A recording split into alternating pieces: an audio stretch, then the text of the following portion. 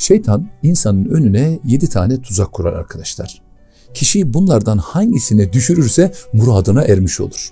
Bunlardan hiçbirine düşüremezse o zaman da ondan vazgeçer. Çok vazgeçmesi mümkün değil ama en azından bir süre rahat bırakmaz diyelim.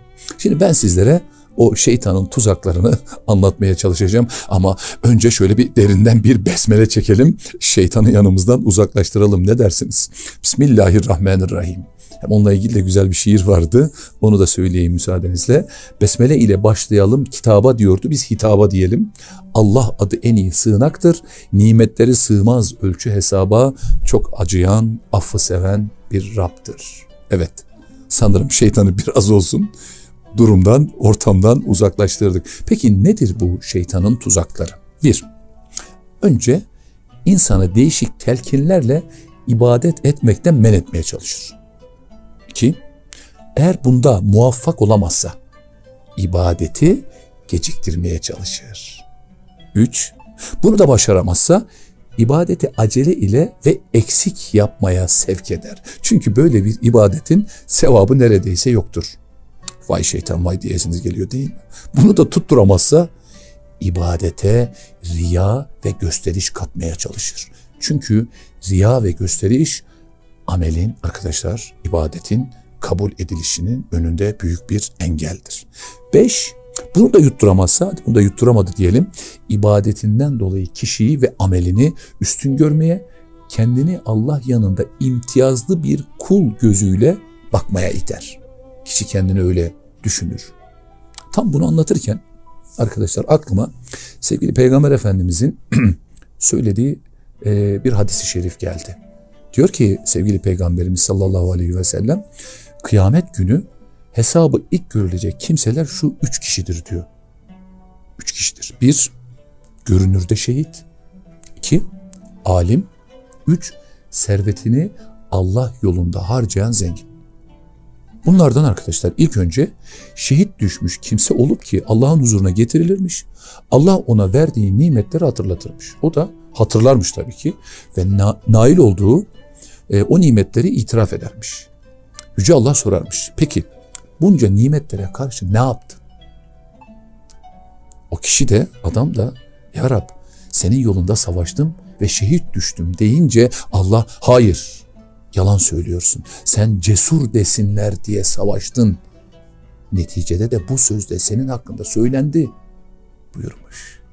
Sonra bu kişi verilen emir üzerine arkadaşlar yüzüstü sürüklenerek cehenneme atılmış. Diğer bir adam ise ilim öğrenmiş ve öğretmiş. Kur'an okumuş bir kimse olup o da Allah'ın huzuruna getirilmiş. Allah ona da verdiği nimetleri hatırlatmış. O da hatırlamış tabii ki, itiraf etmiş. Yüce Allah peki demiş bu nimetlere karşılık sen ne yaptın? Adam o kişiyi ilimi öğrendim, öğrettim ve senin rızan için Kur'an okudum cevabını vermiş. Allah da buyurmuş ki hayır yalan söyledin. Sen alim desinler diye ilim öğrendin. Ne güzel okuyor desinler diye Kur'an okudun. Zaten bu sözler de senin için söylendi. Sonra emredilir. Yine o kişi yüzüstü cehenneme atılır. Daha sonra Allah'ın kendisine her çeşit mal ve imkan verdiği bir kimse Allah'ın huzuruna getirilir. Allah verdiği nimetleri ona da hatırlatır arkadaşlar. O da onları itiraf eder, etmiş. Bunun üzerine Allah peki, peki ya sen bu nimetlere karşılık neler yaptın diye buyurmuş. Adam senin rızanı kazanmak için sevdiğin yollarda harcadım deyince Yüce Allah kendisine ne cömert adam desinler diye infak ettin demiş. Ve netekim de bu sözde senin hakkında gerçekten söylenmiştir. Ardından da Allah'ın emri üzerine bu kişi de bu kişi de yüzüstü cehenneme atılmış arkadaşlar. Hasılı bir anlamda da kibir olan bu hal arkadaşlar amellerimizin reddine ve kişinin Allah korusun huzurullah'tan kovulmasına sebep olur. Yine şeytanın tuzaklarından altıncısı bunu da yaptıramazsa bütün bunları amel ve ibadetinin diğer hizmet ve çalışmalarının karşılığını dünyada alma arzusunu uyandırır kişinin içinde. Kişi de bu arzu uyanınca amelin kabul şartı da ama amelin kabul şartlarından biri olan ihlas da haliyle ne yapıyor? Bozuluyor. Yedinci madde onu bu tuzağa da düşüremezse bu sefer şeytan ibadete lüzum olmadığını. Çünkü insanı cennete götüren şeyin ibadet değil Allahu Teala'nın takdiri olduğunu ki elbette takdiridir de ama bu takdir yoksa ibadetin de bir işe yaramadığını söyler ve kişiyi sözde takdire iman etmek yoluyla saptırmaya ve ibadeti bıraktırmaya çalışır. Arkadaşlar vesveseden yani bu şeytanın bize vermiş olduğu bu vesveselerden kurtulmak istiyorsanız artık yeter bıktım diye kafanızı duvarlara vuruyorsanız benim dediklerimi lütfen uygular mısınız? Allah'ın izniyle emin olun rahat bir nefes alacaksınız. Arkadaşlar başlıyorum. Bir, lütfen şu sinirlerinize hakim olur musunuz ya? Evet, sinirlerinize hakim olun. İki, duyduğunuz sesleri, küfürleri, düşünceleri dikkat edin. Yalnız sen duyuyorsun. Senden başka kimse duymuyor. 3. 30, Şuara suresinin 30. ayeti var arkadaşlar. Der ki ayette başınıza gelen her musibet kendi yapıp ettikleriniz yüzündendir. Kaldı ki Allah birçoğunu da bağışlar. Ne yapıyoruz? Allah'a güveniyoruz. Dört arkadaşlar. Zuhruf, sur Zuhruf suresinde 36. ayet sanırım. Kim Rahman'ın zikrini görmezlikten gelirse biz onun başına bir şeytan sararız. Artık o ondan ayrılmaz, onun dostudur. O zaman ne yapıyoruz? Zikre devam ediyoruz. Beşinci madde arkadaşlar. Size tavsiyelerimde. Hud suresinin 52. ayeti. Neydi o ayet? Ey kavmim. Haydi artık günahlarınız için Rabbinizden bağışlanma dileyin. Sonra da tövbe ve pişmanlık içinde ona yönelin ki size gökten bolca rahmet ve bereket yağdırsın. Gücünüze güç katsın. Günaha batıp giderek Allah'tan yüz çevirmeyin. Ne anladık buradan? Samimi dua ve istiğfar arkadaşlar. Şeytan sana günahlarını unutturmaya çalışır. Tövbe etmeni istemez. Suçunu şeytana atmaya çalıştığın müddetçe iyileşemezsin. En büyük suçlu biziz arkadaşlar. Vallahi biziz. Bunu kabul edelim. Suçu, suçu günahlarımızda arayalım. Biz o vesveselerden sorumlu değiliz. İçimizden ne geçiyorsa, aklımızdan ne geçiyorsa. Ama biz kendi günahlarımızdan sorumluyuz. Tövbe istiğfar edersek vesvese diye hiçbir şey kalmaz. Dokuzuncu maddeydi sanırım değil mi? Dokuz, evet. Zümer suresinin 53. ayeti geldi aklıma. Ne diyordu ayette Yüce Allah? Ee, Ey nefislerine uyup haddin, haddi hadden aşırı hareket eden kullarım. Evet yanlış söylemeyeyim. Allah'ın rahmetinden ümit kesmeyin. Şüphe yok ki Allah bütün suçları örter. Şüphe yok ki o suçları örter. O rahimdir. Arkadaşlar bunlar benim size tavsiyelerim. Bu tavsiyelere uyarsanız vesvese diye bir şey kalmaz. İnşallah şeytan ne sizin kalbinize ne aklınıza ne ruhunuza hakim olamaz. Arkadaşlar bu arada Kulevzu bir Rabbin felak, Kulevzu bir Rabbin nas, ayetel kürsi ve bol bol zikir arkadaşlar. Zikir Allah'ın isimleri. Arkadaşlar 99 tane ismi var. Tesbihatta söylediklerimizin hepsi zikir. Subhanallah, elhamdülillah, Allahu Ekber. Siz yeter ki, arkadaşlar siz yeter ki Allah anın. Allah sizin feryadınıza kayıtsız kalmayacaktır. Ebu Hureyre'yi Resulü Ekrem sallallahu aleyhi ve sellem Efendimiz Ramazan'da toplanan fitreleri korumakla görevlendirmiş. Bir gece bir adam gelmiş. Yiyecekleri avuçlamaya başlamış. Ebu Hureyre adamı tutmuş. Vallahi demiş seni Peygamber Efendimizin huzuruna götüreceğim. Adam ben çok fakir biriyim. Ne olur bana acı deyince Ebu Hureyre ona acımış ve adamı bırakmış. Sabah olduğunda Allah'ın elçisi sallallahu aleyhi ve sellem Ebu Hureyre dün gece tutsağın ne yaptı diye sormuş. Ebu Hureyre de ya Resulallah ihtiyaç içinde bulunduğunu, çocukları olduğunu söyleyince haline acıdım ve onu serbest bıraktım demiş. Peygamber Efendimiz sallallahu aleyhi ve sellem o sana yalan söyledi, tekrar gelecek buyurmuş. Ebu Hureyre Efendimizin sallallahu aleyhi ve sellemin bu sözü üzerine onu gözetlemeye başlamış. Adam yine gelmiş, yine yiyecekler avuçlamaya başlamış. Ebu Hureyre ben seni Allah'ın elçisinin huzuruna çıkaracağım demiş tekrar. Adam da ne olur beni bırak. Gerçekten yoksul biriyim. Beni bırakırsan bir daha gelmem demiş. Ebu Hureyre yine acımış ve onu salıvermiş. Sabah olunca Resulullah sallallahu aleyhi ve sellem Efendimiz Ebu Hureyre dün gece tutsağı ne yaptın diye sormuş. Ey Allah'ın elçisi bana yine ihtiyaç içinde bulunduğunu, çocukları olduğunu söyledi. Ben de acıdım ve onu bıraktım demiş. Efendimiz sallallahu aleyhi ve sellem tebessüm etmiş. O sana kesinlikle yalan söyledi, tekrar gelecek buyurmuş. Ebu Hureyre yine gelmesini beklemiş. Gerçekten de gelmiş adam. Yine gizli gizli yiyecekleri avuçlamaya başlamış. Ebu Hureyre onu tutmuş ve yakalamış. Seni şimdi mutlaka Peygamber Efendimizin huzuruna çıkaracağım deyince adam bu defa beni bırakırsan sana çok faydalı sözler öğretirim demiş.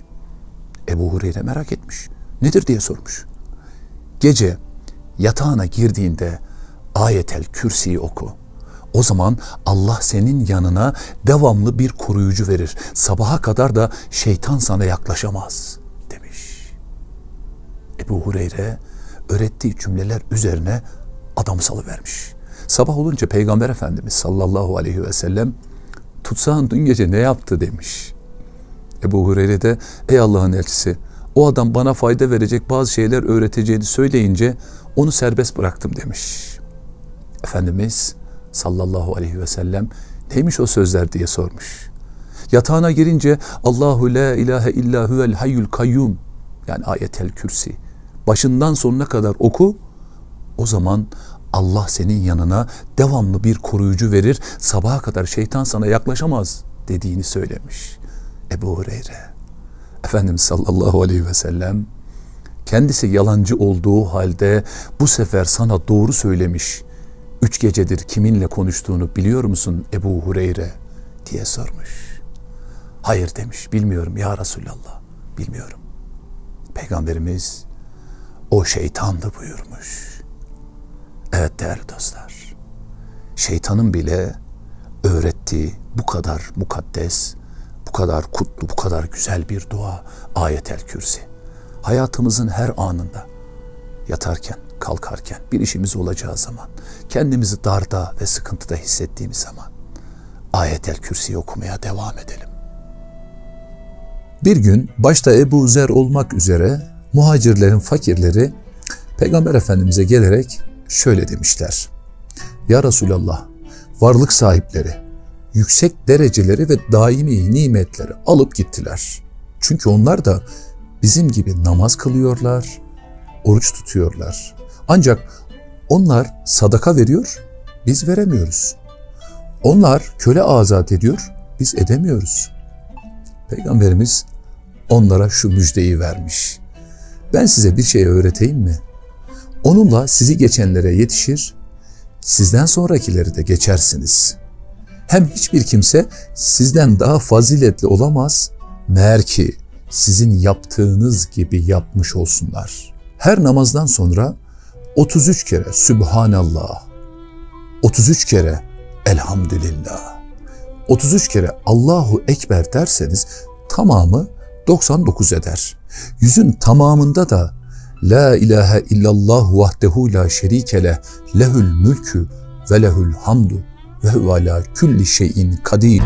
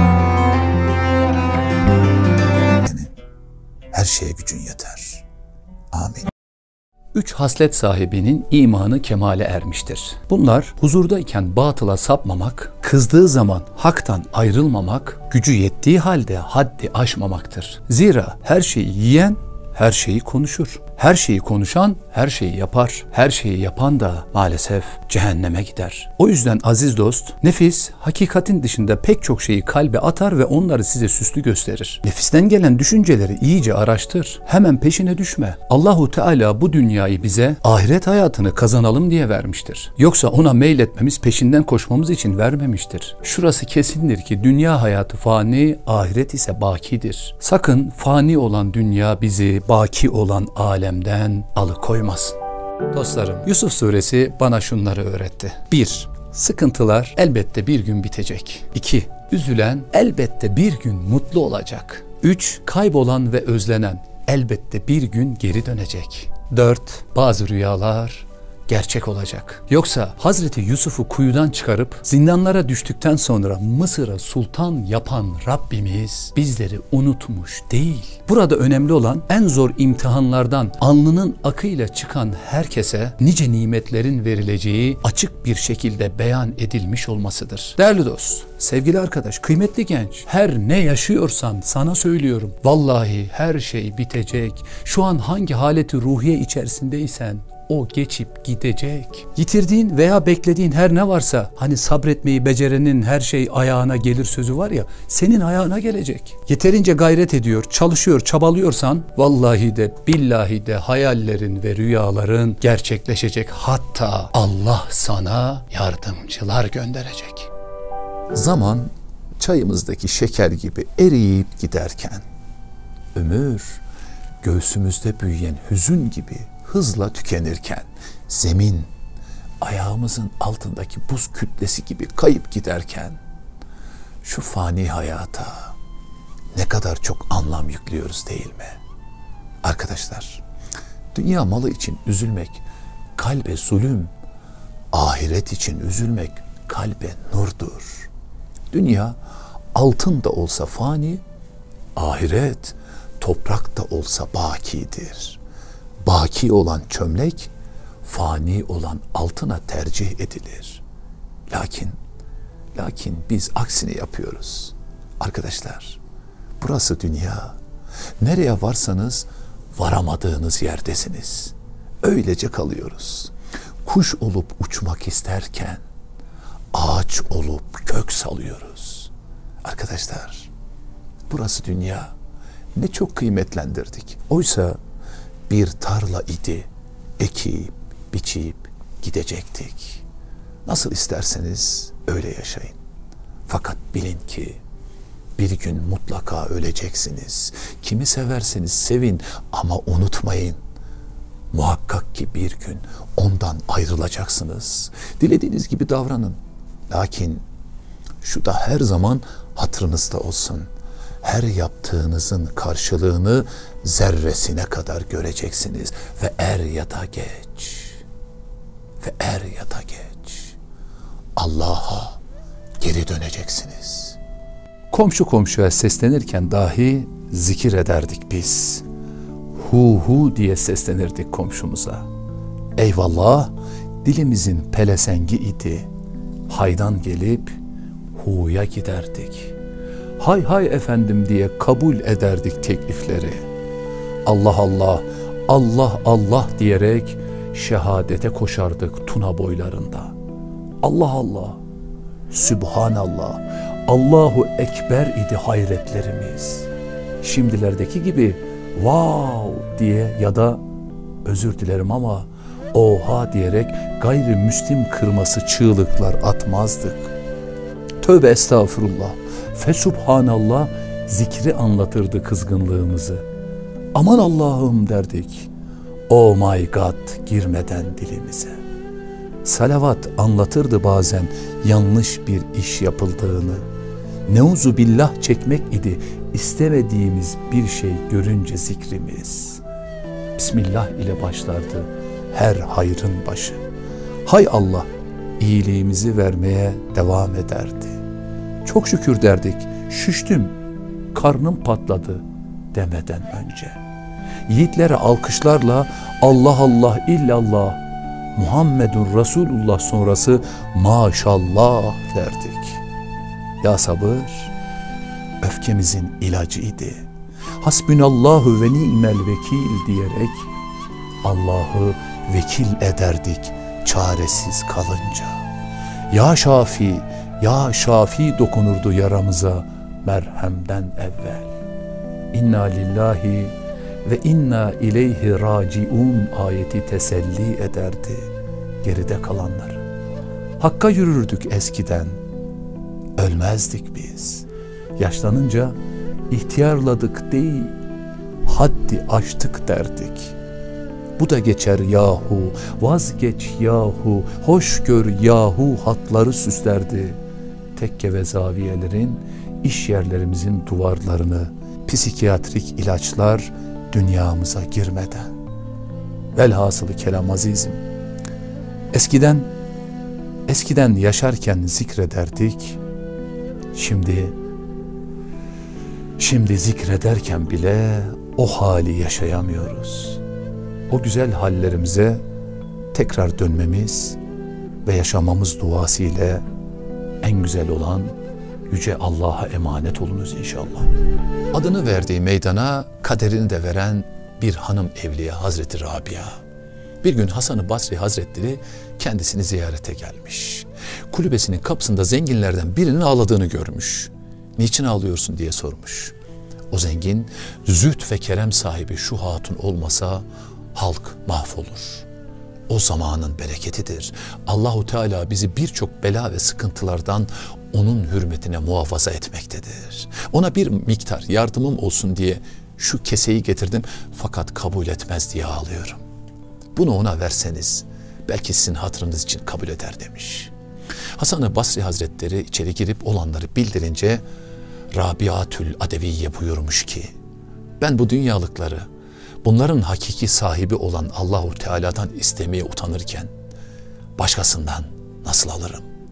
Allahu Teala bu dünyada kendisini inkar edenlerin bile rızkını verirken kalbi onun muhabbetiyle yanan birinin rızkını vermez mi zannediyorsun? O kimseye, o kimseye selamımızı söyleyin. Kalbi mahzun olmasın. Biz Allahu Teala'dan başkasından bir şey almamaya ahdettik. Yine bir gün Hazreti Rabia'ya sormuşlar. Ölümü arzu ediyor musun? Buyurmuş ki insanlardan birine karşı bir kabahat işlemiş olsam o insanla karşılaşmaktan utanırım. Halbuki Allahu Teala'ya karşı olan kabahatlerimiz o kadar çok ki huzuruna varmayı, ölümü nasıl arzu ederim? Ya Rabbi, dünyada bana neyi takdir etmiş isen onların hepsini düşmanlarına ver. Ahirette benim için hangi nimetleri ihsan etmeyi takdir etmişsen onları da dostlarıma ver. Ben sadece seni istiyorum. Ya Rabbi eğer sana ibadet etmem cehennem korkusu ile ise beni cehenneme at. Eğer cennete girmek ümidiyle ibadet ediyor isem cennetini yasak eyle.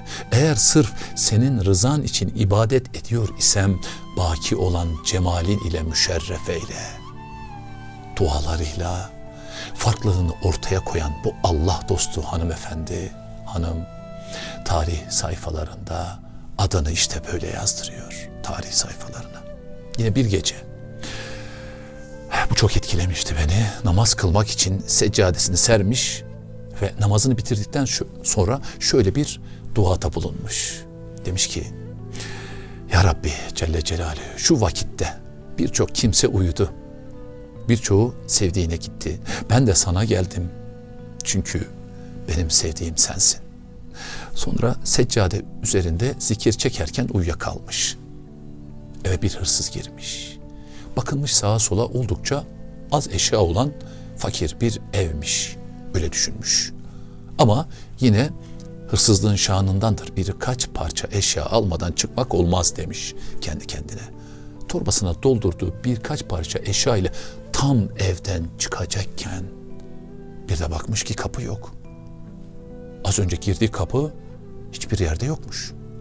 Her yer duvarmış. Aldıklarını bırakmış. Tekrar çevresine bakmış. Kapı orada duruyormuş. Tekrar torbasına doldurmuş eşyaları ve tekrar bakmış ki kapı yine yokmuş. Bu işlemi tam üç kez tekrarlamış. Tam o esnada duvarlar tüylerim diken diken oldu gerçekten. Dalga dalga yarılarak demiş ki ey hırsız seven uyudu ama sevilen ayakta. Seven uyudu ama sevilen ayakta. Allah'ım sana şükürler olsun ya Rabbi. Birisi Resul-i Ekrem sallallahu aleyhi ve sellemin huzuruna gelmiş. Bana eziyet ederek huzurumu bozuyor diye komşusunu şikayet etmiş. Resul-i Ekrem sallallahu aleyhi ve sellem tahammül et ve komşunun gürültü patırtısına aldırma. Belki gidişatını değiştirir buyurmuş. Bir müddet sonra ikinci defa gelerek yine şikayet etmiş. Resulü Ekrem sallallahu aleyhi ve sellem Efendimiz bu kez de tahammül et buyurmuş. Ama adam üçüncü defa gelmiş. Ya Resulallah benim bu komşum gidişatını düzeltmiyor. Beni ve ailemi rahatsız etmek için gerekenlerin hepsini yapıyor demiş. Resulü Ekrem sallallahu aleyhi ve sellem Efendimiz bu defa ona cuma günü ev eşyalarını dışarı çıkar. Yoldan gelip geçen halk görsün. Halk sana niçin ev eşyalarını buraya döktün diye soracaktır. Kötü komşunun elinden diyerek şikayetini bütün halka söyle demiş. Şikayetçi aynısını yapmış. Eziyet eden komşu ise peygamberimizin daima tahammül et diyecek diye demesini beklemiş, onu hayal ediyormuş. Halbuki zulmün def edilmesi, hukukun müdafası hususunda İslamiyet'in mütecavize saygı göstermeyeceğini bilmiyormuş.